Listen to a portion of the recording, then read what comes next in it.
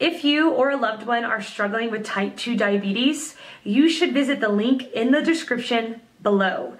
This clinically proven drug free program lowers blood sugar to a normal level and can completely reverse type 2 diabetes within just a few weeks.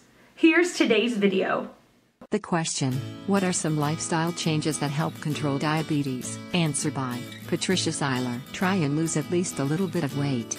Don't stress yourself over it. Even a 10% weight loss is a good start.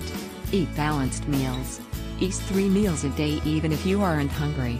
Carry food with you to school or work so you don't get hungry. Get some exercise every day. Walk trails, walk your dog. Go around the block. Do something. Talk with your doctor honestly. Good luck to you. Answer by Jonathan Tyrrell. Diet and exercise are some important lifestyle changes. Typically, eating low carb, high protein diets and working out daily will help control your diabetes.